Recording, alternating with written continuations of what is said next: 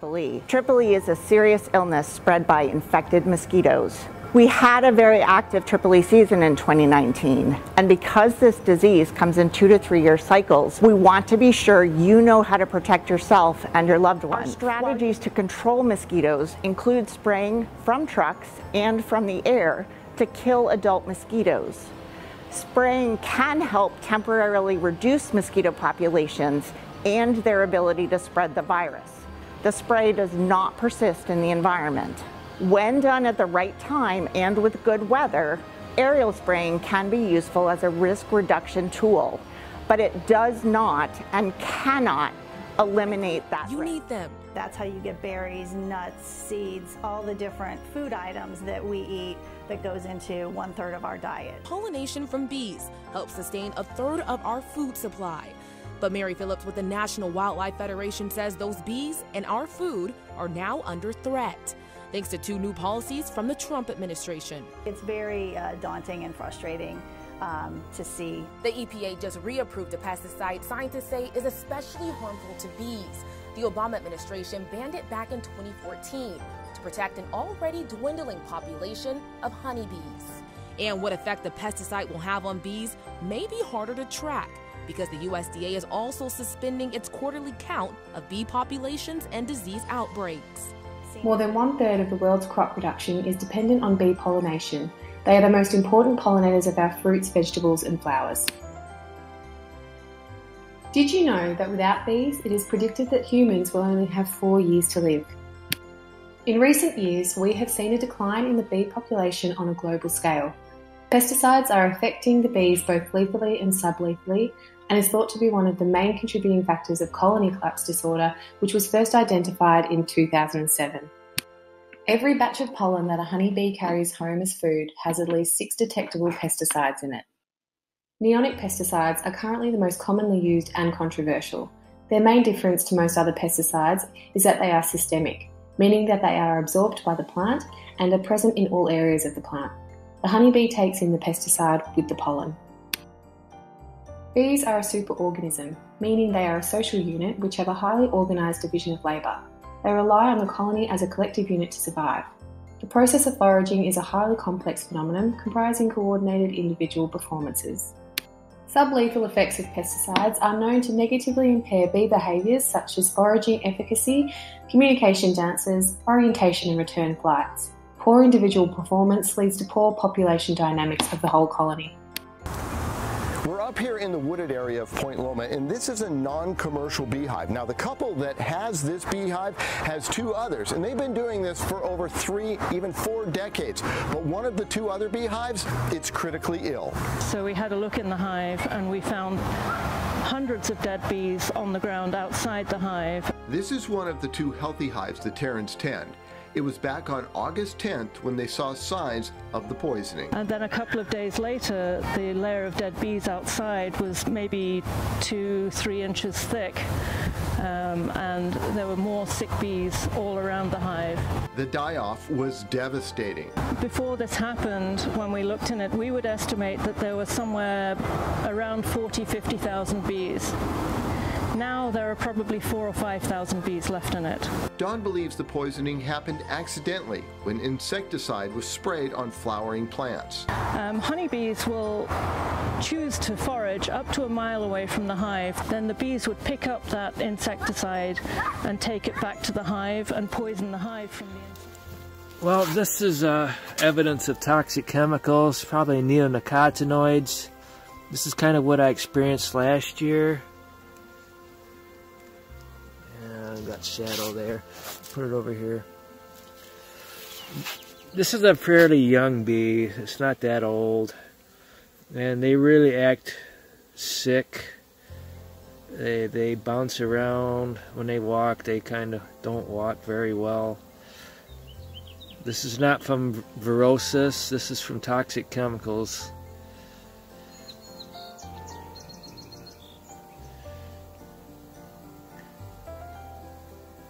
pretty much acts normal, but it's not normal.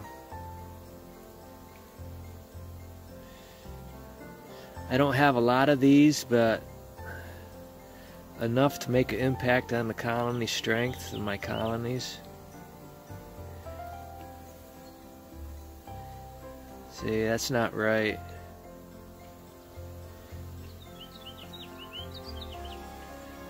Insects don't die like that naturally. This is man-made chemicals doing this to this bee. And what they do is they walk out of the hive and they manage to get away from the hive a ways and don't they don't necessarily die in the hive so you don't know that you're you have a bunch of bees dying because you're not in the hive anymore. They wander out and die elsewhere. It's just a sad thing to watch.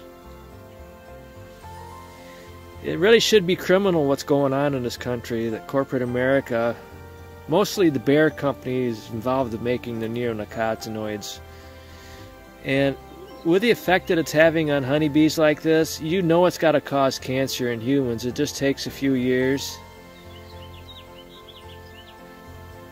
Bees are very sensitive to environment.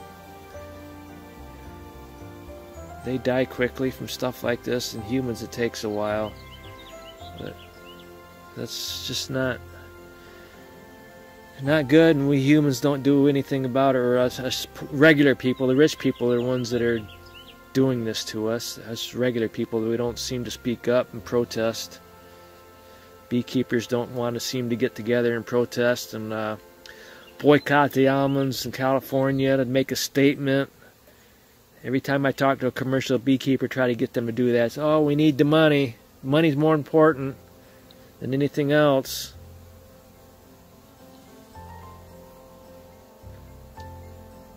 Look at that poor bee. Probably just started foraging the last few days and got to the wrong flowers. Flowers that had neonicotinoids on them.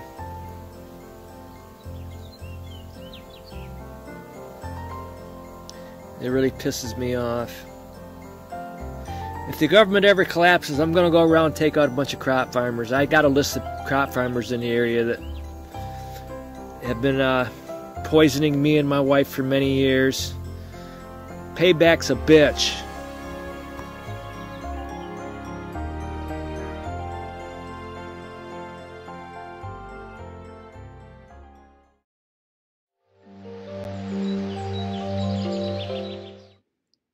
Good morning, good afternoon, good day, wherever you might be.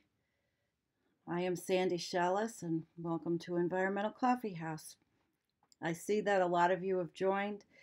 Um, today, this topic on, uh, what is it, June 11th, 2020. In a lot of places, the weather's changing, summer's coming. There's um, there's mosquitoes out. And what got me thinking about this topic and, and was two things, twofold. I was outside a lot. I've been outside a lot. I live outside uh, in this weather, and I I uh, I I got bit. I have a big bite on my neck and a bite on my face, and I got bit. Then what happens? I got bit, and it, and an article just it popped up about a deadly mosquito borne illness is brewing in the Northeast that happened last year, EEE. And we'll read about that, um, this equine thingy. But it's deadly. And 40% of the people that get bitten that get it, they die. And we're in the midst of a pandemic, COVID. So we're, we're, we're seeing these things, and we see Zika, we see um, uh, all of all of the, the what is it, West Nile, these viruses that happen, and they're brought from mosquito borne illnesses. I mean, there's countries you go and you take, you know, hydrochloroquine for malaria, which is what it was originally, and people have netting all around everything because the uh, the um, mosquitoes. Now, in the United States, and maybe a lot of places around the world, pesticide use is heavy. And they, and what, what introduced me to this again was my distaste and dislike for spraying neighborhoods. No matter what the state health departments say, and Massachusetts in the United States is starting to spray. But uh, the people have to know that this affects wildlife and bees and fish. And they say it's safe, but at what cost? What's the cost benefit analysis of? I think it was 100 people have died since 1938 when they discovered this EEE. That's the, not a lot of people, but yet we're destroying the environment because of it. So I'm going to say good morning. Hi, Shelly. It's so nice to see you. Jean, I love bees too. I do.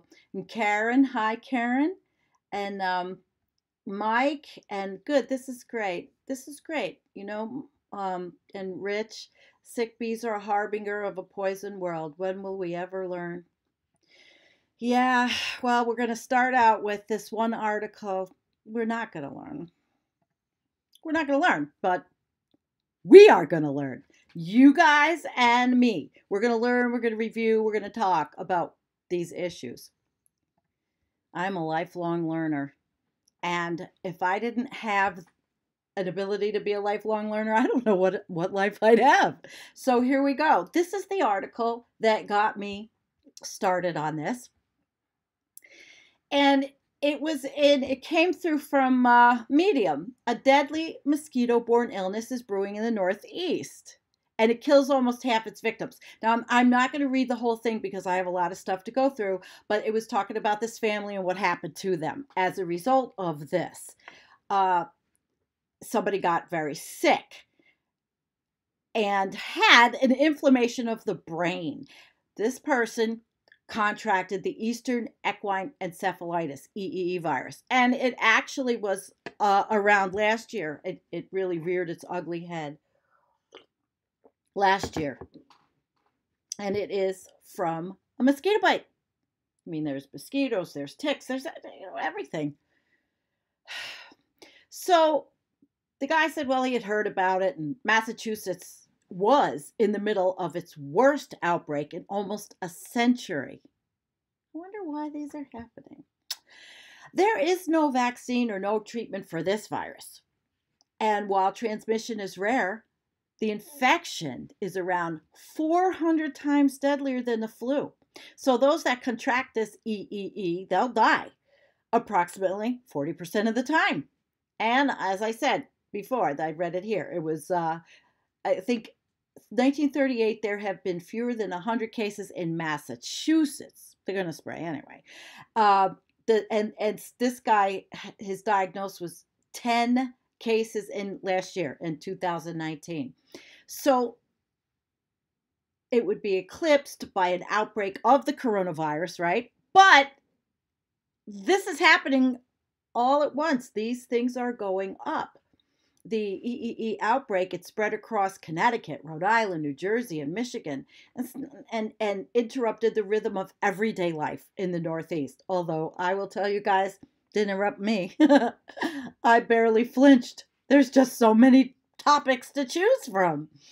Uh, so, if a preview of the lockdown this year, public health officials made recommendations to shelter indoors and avoid certain activities at dawn and dusk. Ah, gosh.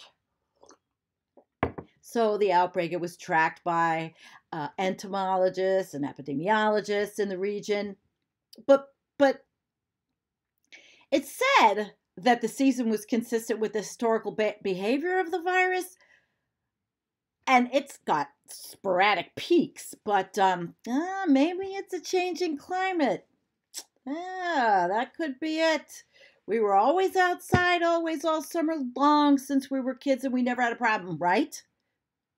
Right? So since the 1980s, scientists had warned that if, a, if global temperatures rose significantly, that disease-laden mosquitoes would extend their reach into previously unaffected ecologies around the world, increasing rates of infection in large swaths of the planet's population. So it's where I live today. The Northeast is among the fastest warming regions in the United States. Milder winters, which I will testify to, and intense summers. Let's see, the last two days were almost 90. Then we got a thunderstorm last night. and Now it's 63. Weather whiplash, unbelievable. But people were wondering if that 2019 outbreak of this, the virulent future is already here. A microcosmic omen, you know, an omen presaging a new and terrifying epidemiological reality. Now, I'm not meaning to scare you, but these things, they're happening. And we're, we're, we've already been scared and terrified by the media enough over uh, coronavirus. But I'm just going to give you some facts on these things, and we're going to sway over to the bees, which I love the bees. And all this started was because of mosquito bites on me and this article popping up.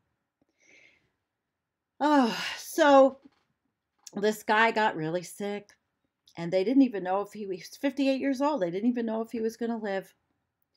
And, you know, he said he was just overcome with anxiety. He was just thinking, we've always been outside. Why is this a problem? Why all of a sudden are we hearing that things are going to be different? And, well, viruses, they're, they're a paradox of civilization. The protein ensconced splinters of DNA animate only uh, when infecting a host body, us. And my God, I have enough bites that I'm a host. Because, but I use some stuff from the Amish. I digress. and it actually works pretty good. Uh, so these are so primitive that scientists cannot quite agree as to what side of the living non living border they belong on. As our species has acquired dominion over nature, these zombies of the microscopic realm, devoid of thought and culture, they emerge from nowhere to upend our lives as if to remind us that our achievements are fleeting and fragile, that apparent the apparent attainments of civilization makes us in some ways more vulnerable than ever as our first agrarian ancestors enjoyed the food and labor of domesticated goats and chickens and pigs and oxen, they made a Faustian bargain. For the first time, they were suddenly exposed to zoonotic viruses, bugs that leap from animals into humans, producing terrifying infections measles, tuberculosis, pertussis that hunter gatherers had not known. For citizens of the great empires of the Iron Age, the price of urban life and rare species was novel colds, flus, pus filled pox communicated along trade routes and in sputtering marketplaces. So, as Europeans embarked on this global colonization quest, viruses were transported across hemispheres, overwhelming uh, great um, indigenous nations and civilizations whose citizenry had no immunity. It's impossible to a- exaggerate this cataclysm, which killed some 90% of the indigenous population in North America. A death toll so fast that some should suggest it led to a period of, of global cooling, as well as trafficking viruses across the seas via human and animal hosts trade and slave ship captains introduced disease laden mosquitoes to the Americas, which sickened indigenous populations and colonists alike with yellow fever and new strains of malaria. And in the 18th century, summer was known as the, the sickly season, and citizens would stay inside to escape the humid air, which, according to the antique yet still prevailing uh, miasmic theory of disease, thought to be ripe with invisible pestilence. It's a pretty good piece, huh? So it goes on to go from 1793, um, how they, after residents began to turn yellow and vomit blood and expire from the yellow fever. 1878, 5,500 uh, residents of Memphis died from the viral infection. So that was uh that was well awful, right? But once the mosquito was unmasked as the preeminent vector of viruses and the harvester of human populations, controlling them became priority for humans. And so vast swamplands were drained. Pesticides like DDT, that was beginning of them all, right? Big Daddy DDT, they were wantonly sprayed. How did we live? How are we living? We're all dying. right of cancer or some some something that maybe they didn't die when they were hunter and gatherers, right? So the measures proved so extraordinarily effective that in the decades following World War II, the once deadly mosquitoes that plagued the United States became, for most citizens, nothing more than a summer nuisance. So it was the victory of science and organized public health over the mosquito. It, it, it, was what part of many believed to be the final coup of civilization over the infectious microbe. So, in 1962, Sir Macfarlane Burnet said the end of one of the most important social revolutions in history, the virtual elimination of infectious diseases as a significant factor in social life, or so he thought. All right, well, we go forward and uh, we we find out that where EEE comes from and that it's complex and the, the, the again the first human case was recorded 107 years later when it from 1831 when 25 people died from the infection. Now remember population was a lot a lot lower then and being that population was lower you know of course it, it sounds like well it's not a lot of people that died but 25 people in a smaller population might be. So this is a pretty good article and it goes on to describe uh, 2003 how it started to come back and that's when spraying you know they really they really ramped up spraying again infected horses. There were uh, a first documented case in vermont and so it was spreading. It was spreading northward. Uh, okay so we're going to go on to um, us the mosquito. It is by far the deadliest creature on the planet. It really is while extracting blood to nourish its eggs, the female mosquito kills approximately 1 million humans every year. Snakes come in second at around 50,000 humans killed. The infection caused by the malaria parasite remains the most lethal mosquito borne disease, claiming around 430,000 lives annually. This vast majority is carried by those living in sub Saharan Africa, where malaria, even with hydrochloroquine, if they can get it, is still endemic, reflecting a global reality where public health and clinical solutions to infectious disease have often been deployed first in wealthy nations. Oh, she. I, I had her in my video. She was talking about Dr. Catherine Brown. But they're talking about spraying, and I really, I don't like it. I don't like what they spray, but you know, it's like it's like the fight. What what do you, it's like a fight against ourselves.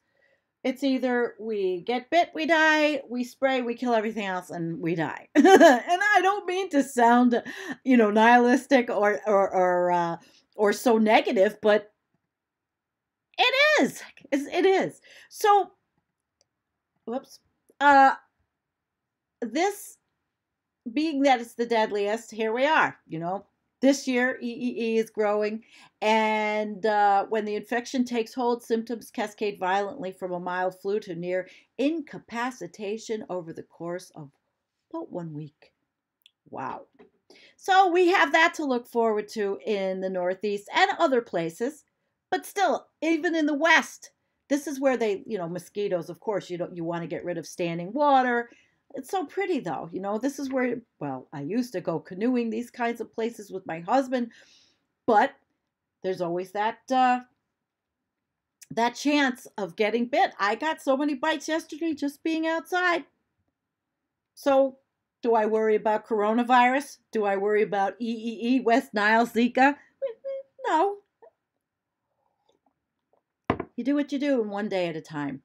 Managing community anxiety that's really one of the things that uh, she was saying. We try to make people aware of the risks without sensationalizing but there's so many people that there's still people that are so afraid they uh, they forget other things are going around in the world. So i suppose if you live in a community where somebody died or got really sick that would happen. So I really want to go to the next article uh, because this is really long, but I, I suggest you guys read this whole article because um, it's really interesting. It really is. And I like the statistics in it, but it's very long and I I I don't want to take up the whole day with this since I've had I have so many others. So um it, it is. And I will put the links. Book Hermit. Use DDT? No, sorry ah, we don't use anything but neem oil. And then for me, I just use, um, oh, citronella. You can yes.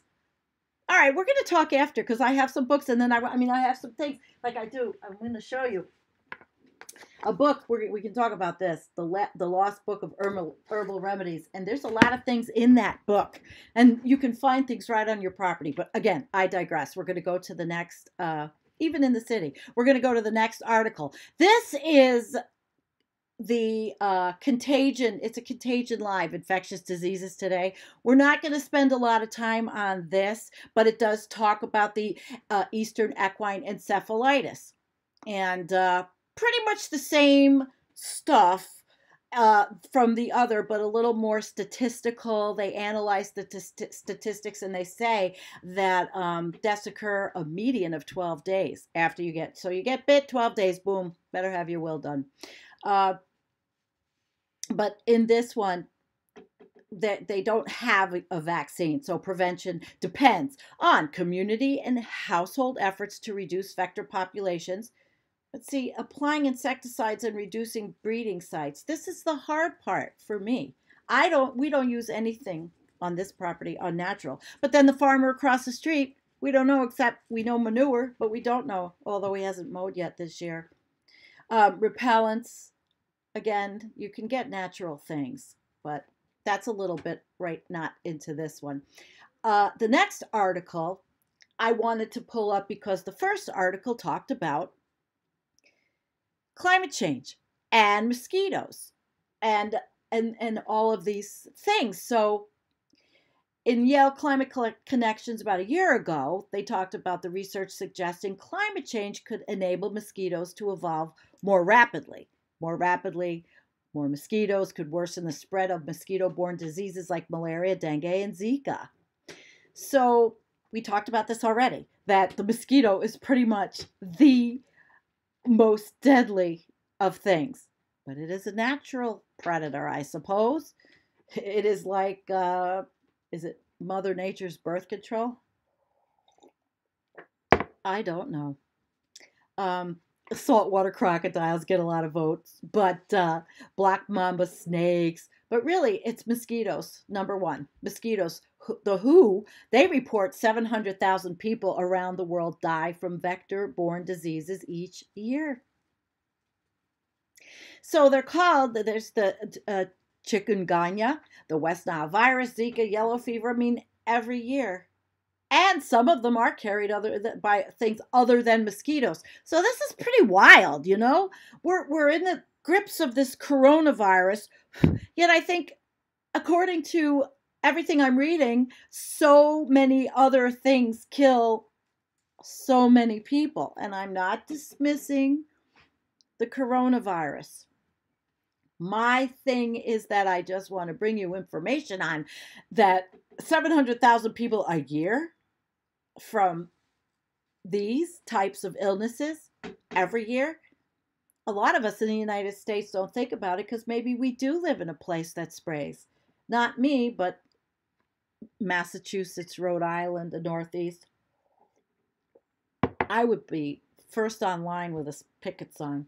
But uh, so this article this they, they modeled mosquito speciation rates over the past 195 million years and found a strong correlation between the rate of speciation and the levels of atmospheric CO2 and temperature with faster rates of mosquito evolution when temperatures were higher and more CO2 is present. So what does it mean? The evolution of mosquitoes certainly would raise the possibility of many bad things, such as triggering the return of some uh, regionally eradicated diseases. A faster evolution of mosquitoes would definitely mean challenges to human beings. If the warming and the high atmospheric CO2 keeps going, there would be more species, so the population would be more diversified. There would also be more places because it's warmer where the, the mosquitoes could breed. Thus, these mosquitoes would have population growth, bringing higher density. So, what are we going to do? Spray everything? What are we going to do? Live inside? Are we going to get white suits? And are we going to wear masks the rest of uh, until extinction?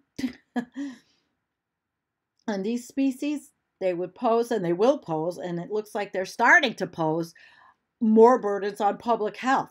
So there you go on this article. They're finding that mammal speciation is linked to mosquito speciation. It's unsurprising, given that mammals are predo- the predominant source of food for many species of mosquitoes, like me. They ate me yesterday.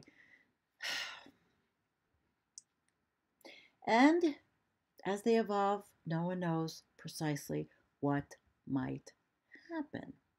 We don't know what will happen. But they talk about dengue fever. Um, they, they, they talk about uh, many parts of the world, old city centers where people live are located near ponds and parks and other areas where mosquitoes, you know, love it. They love it, right? They just love it. And uh, what what do what do the scientists that work for companies like Bayer and for the big pharma companies and the, the pesticide companies, they're just going to make more. And an administration like the Trump administration will, of course, take the corporate side and deregulate because they already have. And maybe we'll try to get rid of mosquitoes, but again, we're just going to then kill the bees. We're just going to pollute the water. We're just going to kill the fish. Um, my next article is actually from a um, a little honeybee, little bee people, right?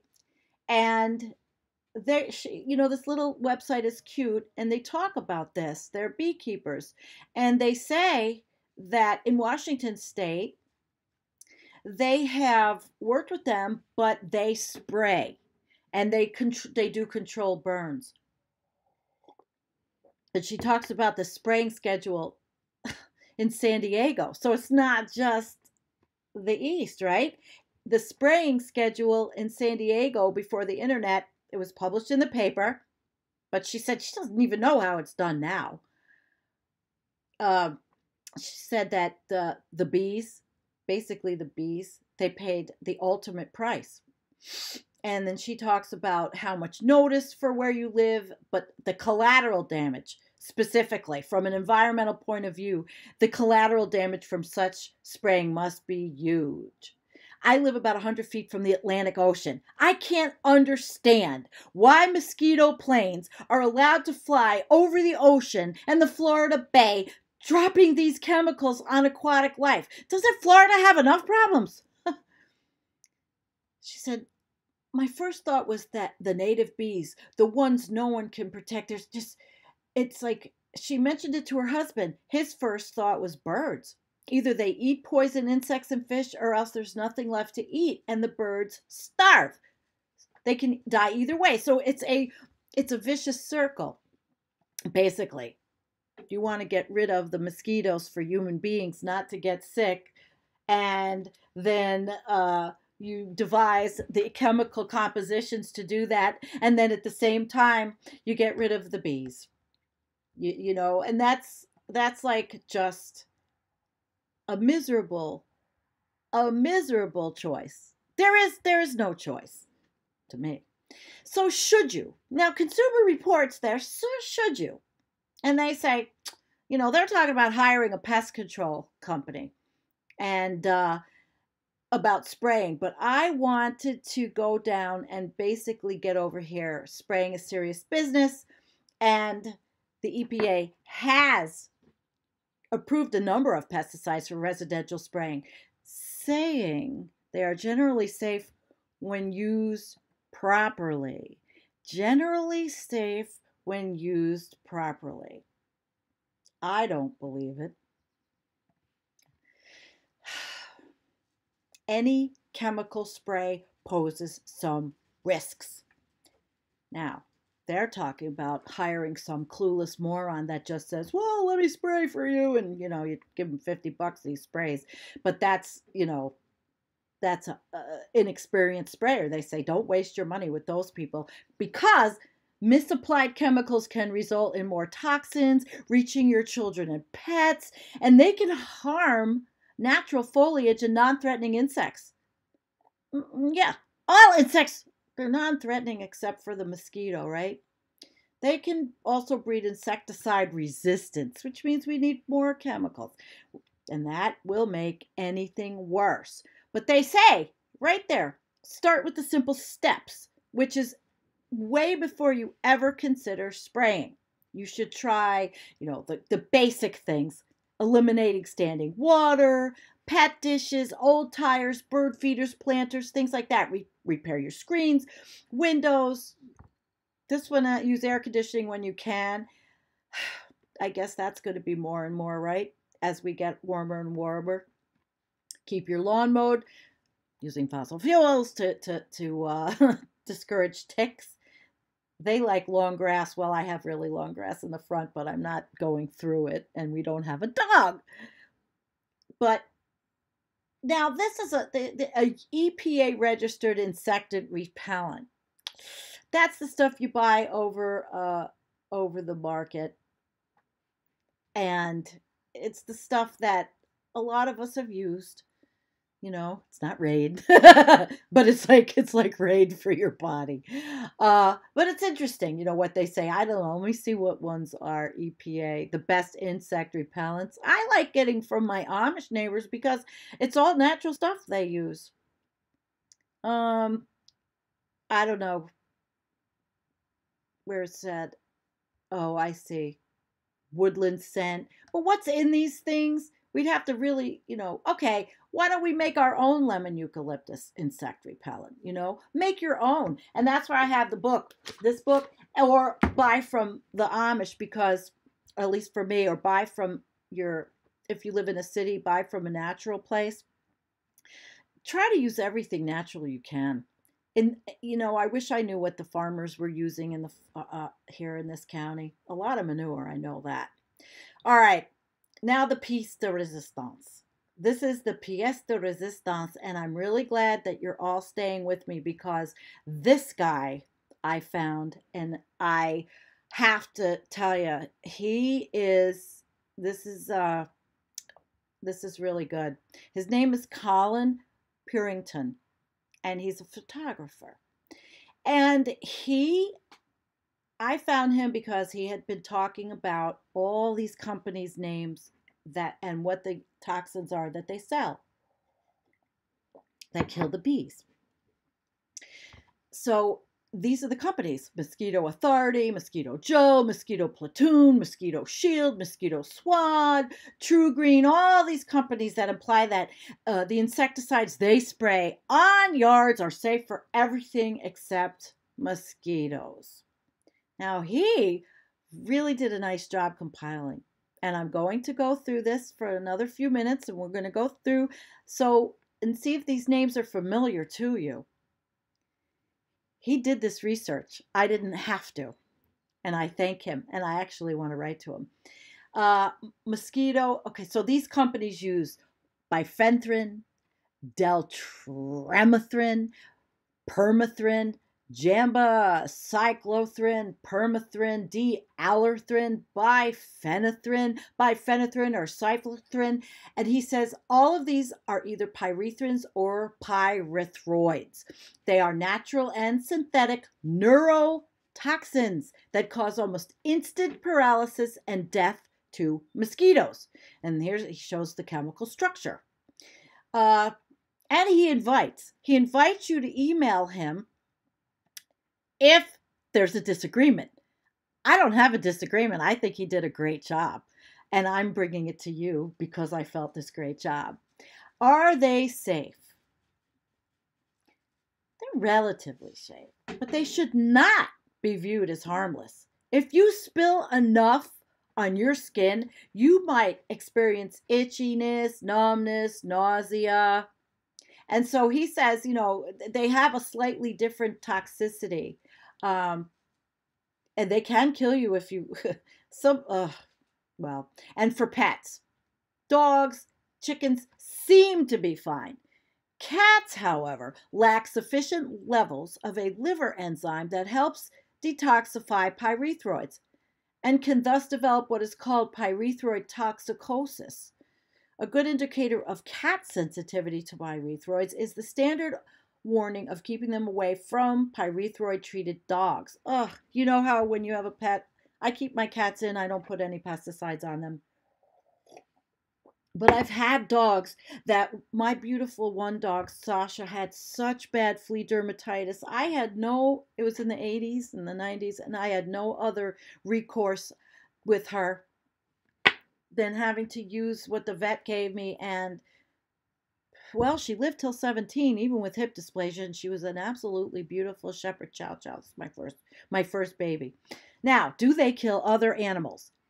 Yes. They kill mo- and he re- he references he he puts his uh his references in. They kill monarch caterpillars even weeks later due to the presence of insecticide dried onto milkweed leaves. And the spray can kill honeybees. Even if honeybees are inside their hives uh, when the pyrethroids are sprayed, and, and the worker bees, they bring the small amounts back to the hive the following day if they land on treated plants or if they find small puddles of water to drink. They can change the honeybee behavior, and if you watch the video I created, you'll see and I'll probably play it at the end again, like I always do, and I add on 16 minutes to the show. but if you see it, you can then just leave. Um, they kill fireflies, which are most active in a yard in the late evening. I had a lightning bug last night. I was so excited. Uh, now this he says his favorite group of unnoticed insects that are killed by the uh, are solitary bees. There are approximately 4,000 species in the United States. These are the bees that collect pollen and nectar during the day, but they spend their evenings and nights in holes. Mason bees, for example, or clamped to low vegetation. And then he has a picture of the um, two-spotted longhorn bee. A lot of different kind of bees. Everyone has dozens of species of native bees in their yards, but few people realize it. But they are amazing pollinators and almost all adorable. So when pesticide applicators claim that their pyrethroid sprays don't harm bees or are bee friendly, that is entirely untrue. It's simply a marketing slogan they were taught when they bought the franchise, and they insist it's true even when presented with evidence to the contrary. My God. You know, anyone using a spraying service is therefore killing all of the above and more. Insects are small and easy to ignore, but if you were to go out after spraying and look very carefully, you'll find thousands of dead insects on the ground. And only an extremely small percentage would be mosquitoes. If you go out immediately after spraying, you can even see the twitching that precedes their death. It's probably not a pleasant way to go. Pyrethroids can kill all arthropods. In fact, not just insects. So, if a yard is sprayed, likely 100% of spiders, mites, centipedes, millipedes, they'll be at risk. In total, that could make that could mean tens of thousands of individuals left twitching in treated yards. In one estimate, one alone, an acre of land in Pennsylvania contains 425 million animals, and a good portion of them would be killed by pyrethroids. And another concern with gassing them all in the yard is that of bird species that eat the arthropods. They will have a lot less to eat. And then there's the fish.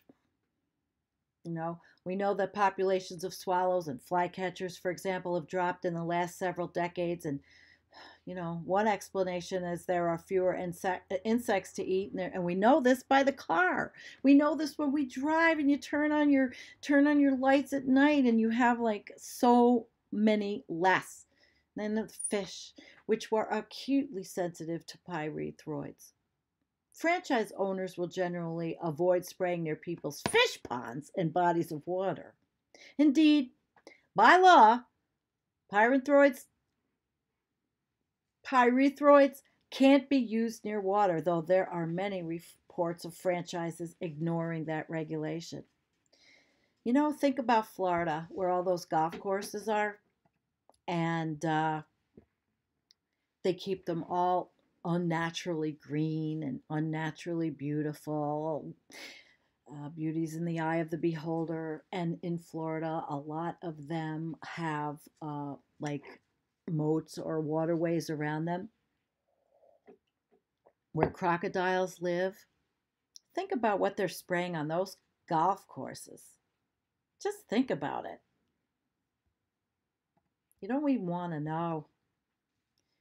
They're also toxic to earthworms. And and and you see, he says to be honest, many people don't care about earthworms. Some hate them. Some hate them. But um, they're here for a reason, right? But for people who love aerated lawns, it should be pointed out that fogging with py- pyrethroids might result in dramatically less aeration and dramatically more odor from rotting earthworm carcasses, and perhaps result in robins that wonder where all the worms have gone. These are they're engineered to last for weeks. Now in this company, how can the barrier spray to continue continue to kill mosquitoes for 21 days? Mosquitoes will feed on plant juices when they attempt to feed on sprayed leaves. The residual from the spray will kill them and everything else. But mosquitoes don't eat leaves, of course. But the quote is correct about the fate of insects that walk on treated leaves. Pesticide franchises like to claim that once their product is dry, it's no longer toxic. But that claim makes no logical sense in light of their claim that the product provides protection for three weeks. So some of these can even last for 90 days if they're on a shaded uh, surface. So he goes on to talk about these companies and what they're doing to neighborhoods, to environments. He said um, there's some state laws and here in New York, for example, most counties in New York require that neighbors be notified 48 hours before spraying. In some states, Maine, you can get your name on a notification registry that requires any applicator to contact you in advance of spraying. Gosh, I'm so happy we don't have any of those places here. And at one point in time, I was a clueless moron, and I did have my yard sprayed a couple of years uh, because of the fleas. And then I learned I can't do this. No, no, no. Uh, and, and then there's an option for beekeepers in some states too. So they have to know because you saw in my video the, the beekeepers that have lost. Now, this guy that wrote this lives in Pennsylvania. And uh, they have a pesticide hypersensitivity registry. You know what's funny about Pennsylvania? They frack the shit out of Pennsylvania. They're polluted as all hell, but they have a pesticide hypersensitivity uh, registry. But that's good. So when you're on that list, you uh, the pesticide applicators know you have a medical issue with pesticides, and they are obliged to inform you of any future spraying. And also on that registry are beekeepers too. So you can you can um, use Ecosia and you can say pesticide notification um, laws regulations in residential and whatever state. And you can you can see and local governments can help too. It's it's really um, they they have a, a a web page that tells you everything about what's going on. You have to just look it up. And uh, there's tips for towns. You can inform your town go to these websites if you go to a town meeting and you're concerned local governments should consider banning automatic pesticide foggers, which are pipes that deliver these pyrethroids on a timer, just like those automatic misters in the grocery aisle. There's things you can do, but you have to understand that they're happening.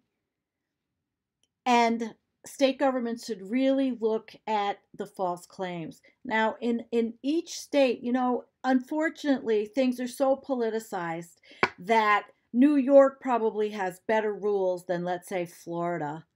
Um, and Floridians might be seeing advertisements of young children playing outside, which is conveying like a sense of that it's harmless to do this. But uh, he says that a lot of these sites that advertise have misleading wording. And uh, that, of course, especially the claim that these pyrethroid containing sprays target mosquitoes and ticks. So, is spraying effective? Now, we're getting to the end. What do you think, guys? Is spraying uh, uh, effective? It might be a good way to kill mosquitoes near the ground and in low shrubs. A lot of them spend their time high up in canopies and they're untouched anyway. So let's say he says he doesn't want to say it's ineffective. They will and they might get rid of the vectors of dengue, yellow, and Zika because the species are more likely to be in lower vegetation. But uh, I don't think that, there are more genre of mosquitoes, of course. So depending on where you live and what's growing in your yard, pyrethroids might vary in effectiveness. I honestly, he's got then 10 suggestions for doing that. And he's talking the same thing, and I'll show you. Uh, the eliminate the stagnant water, thin out ground cover, deploy traps that kill pregnant females, all natural. Add mosquito killing bacteria to standing water.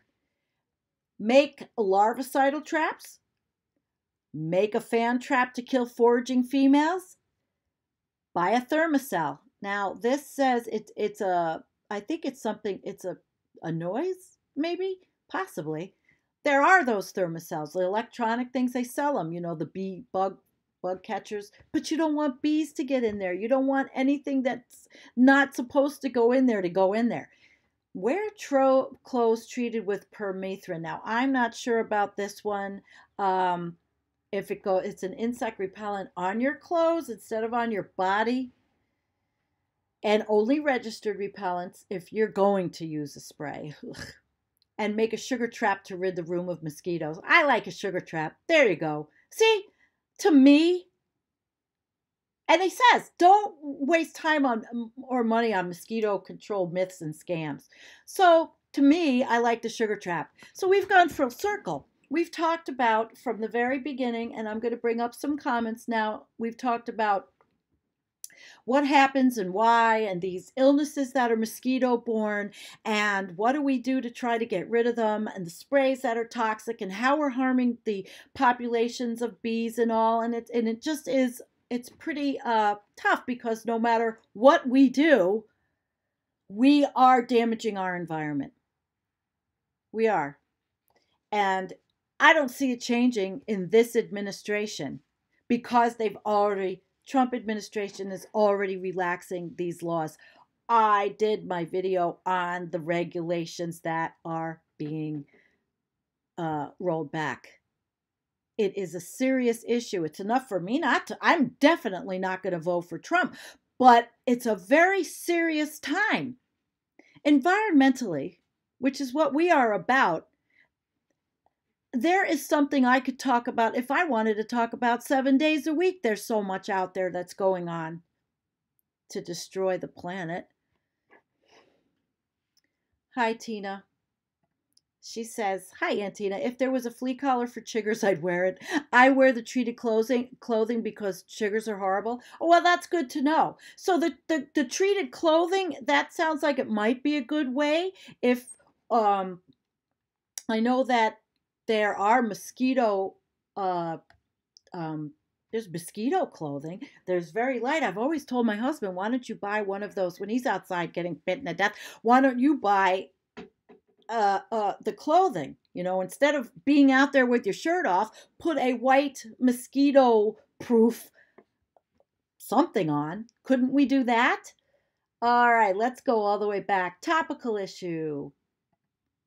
Pakistan is being ravished by the move of the locust swarms and are fighting this with insecticide. What's the alternative? I don't know, Mike. Somebody had written a comment. Eat them? catch them and eat them. Uh, I don't know. That's a, another show. Maybe you could help me. Email me some information. Um, Pat. Hi, Pat.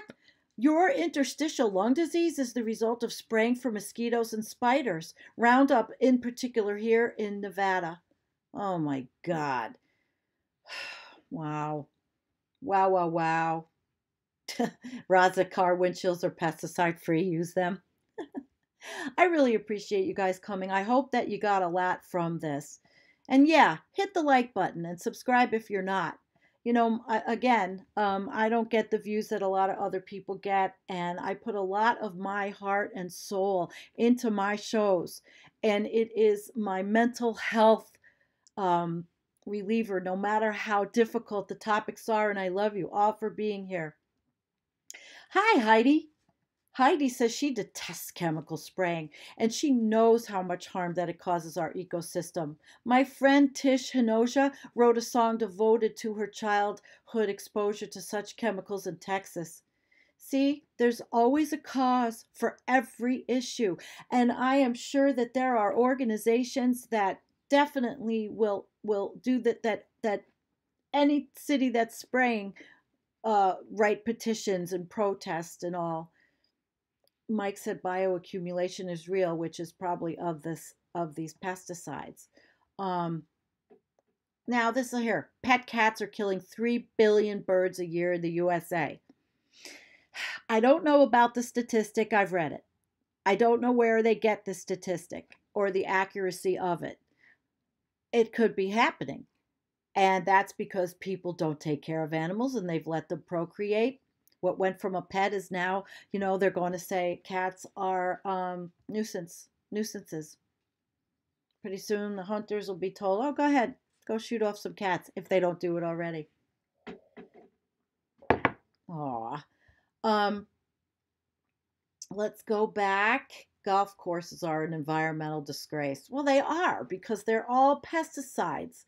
They're all using, they all use pesticides.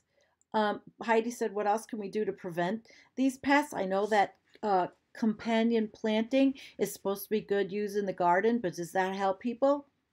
Well, again, this is, you know, if if you want, and we do another show on this. Oh yeah, neem oil. It can kill, kill garden pests but hurt pollinators. There is a neem distillate that spares pollinators called Azamax. Well, thankfully, we, we've only used a little bit and it's so far away. We don't have, thankfully, we don't think there's any pollen. We don't know. And I will admit that. So thank you for that. Thank you for that. Okay, Heidi has a question. So many friends are getting sick from Lyme disease. How can we vent, prevent the ticks that cause the devastating disease? What else can we do to prevent these pests? I know, she said, companion planting again. So these are all things for the next the next episode of how to deal with you know bugs uh, insects that that bother that could hurt us that could kill us that could hurt our animals without killing bees without killing the nurturing, important ecosystem. I mean, our ecosystem, everything works in tandem with the other. That's why it's an ecosystem. Oh, Wade said you suspect your wife got cancer from all the neighbors using Roundup. I am so sorry. it makes me so angry when I go to Home Depot. Well, I don't go anymore anywhere, but when I went and I saw right in the front, right in the front, the shelving Roundup, and I just get disgusted. I can't understand it. I just can't understand it. And it's illegal in other countries. It sure is.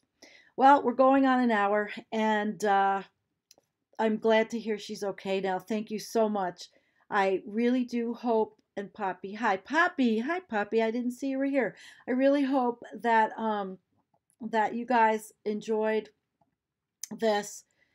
And Marco said, catch and release, spaying and neutering. That's what I do. I have five cats, but yes, that's exactly what has to be done. And I think everyone should, especially where I live, should do that.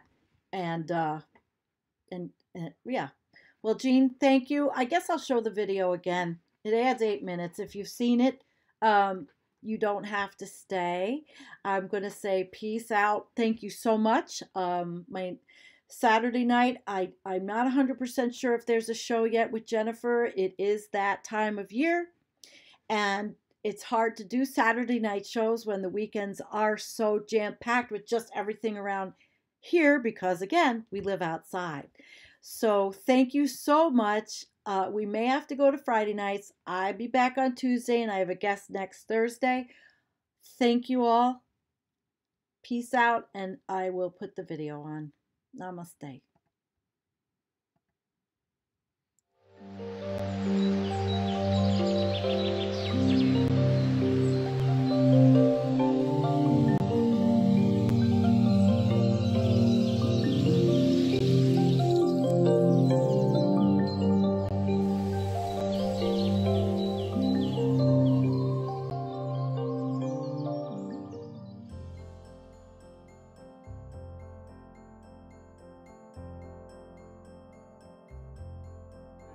Triple E. Triple E is a serious illness spread by infected mosquitoes. We had a very active Triple E season in 2019, and because this disease comes in two to three year cycles, we want to be sure you know how to protect yourself and your loved ones. Our strategies to control mosquitoes include spraying from trucks and from the air to kill adult mosquitoes.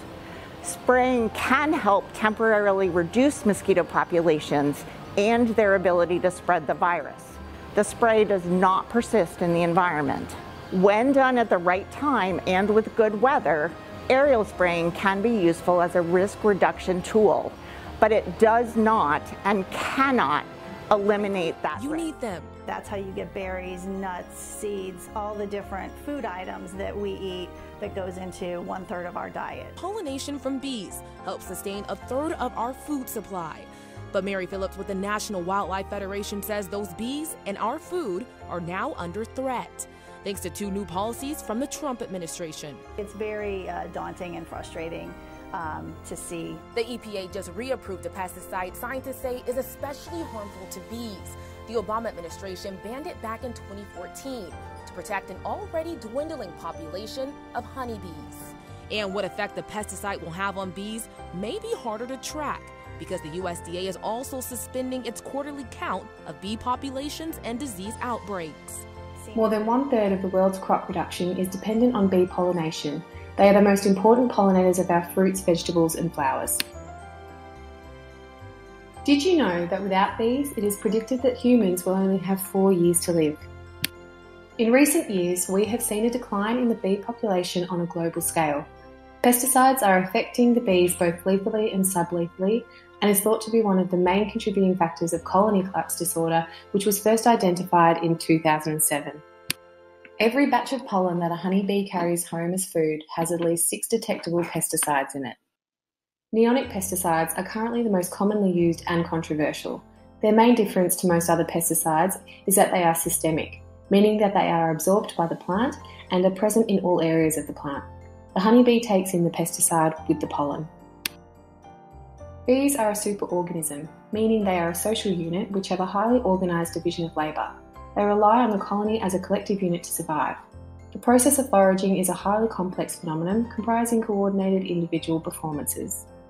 Sublethal effects of pesticides are known to negatively impair bee behaviours such as foraging efficacy, communication dances, orientation and return flights. Poor individual performance leads to poor population dynamics of the whole colony. We're up here in the wooded area of Point Loma, and this is a non-commercial beehive. Now, the couple that has this beehive has two others, and they've been doing this for over three, even four decades. But one of the two other beehives, it's critically ill. So we had a look in the hive, and we found hundreds of dead bees on the ground outside the hive. This is one of the two healthy hives the Terrans tend.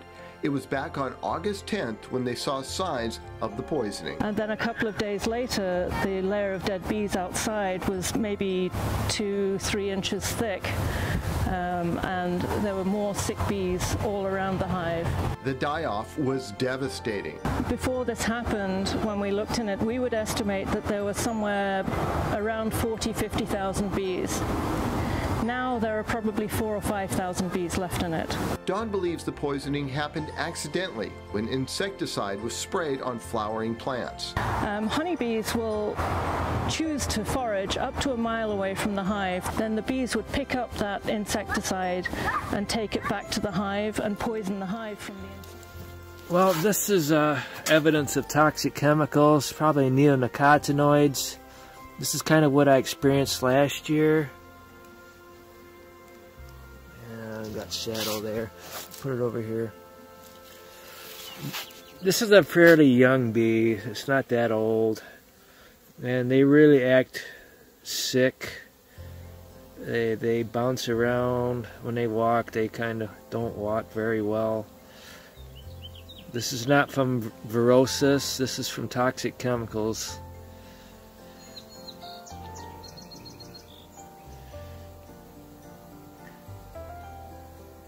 Pretty much acts normal, but it's not normal. I don't have a lot of these, but enough to make an impact on the colony strength in my colonies. See, that's not right.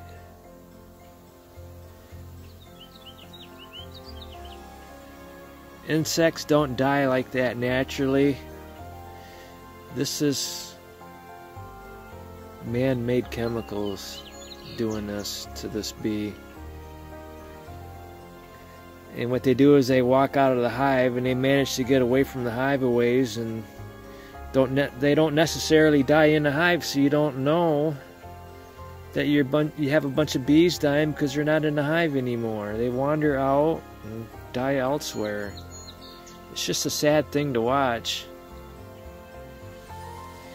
it really should be criminal what's going on in this country that corporate America, mostly the Bayer company, is involved in making the neonicotinoids. And with the effect that it's having on honeybees like this, you know it's got to cause cancer in humans. It just takes a few years. bees are very sensitive to environment. They die quickly from stuff like this. In humans, it takes a while.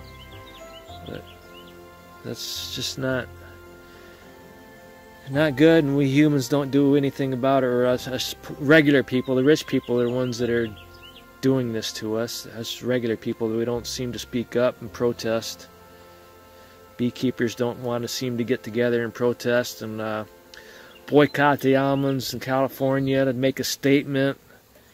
Every time I talk to a commercial beekeeper, try to get them to do that. oh, we need the money money's more important than anything else.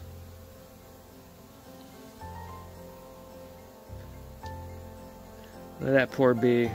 Probably just started foraging the last few days and got to the wrong flowers. Flowers that had neonicotinoids on them.